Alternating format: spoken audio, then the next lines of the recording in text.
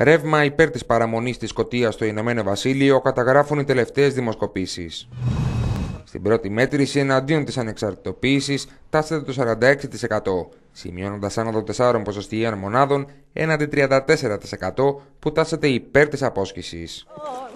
Τα δημοσκοπικά ευρήματα πάντως δεν φαίνεται να πτωούν τον επικεφαλής της κυβέρνησης της Σκωτίας, Άλεξ Άλμοντ, που το επόμενο διάστημα αναμένεται να κλιμακώσει την εκστρατεία του υπέρ της ανεξαρτητοποίησης.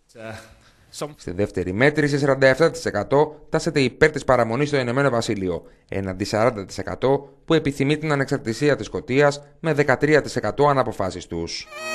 Σε περίπτωση που στο δημοψήφισμα της 18 Σεπτεμβρίου υπερψηφιστεί η απόσχηση, η Σκωτία θα γίνει ανεξάρτητη στις 24 Μαρτίου του 2016, μετά από τρεις αιώνες.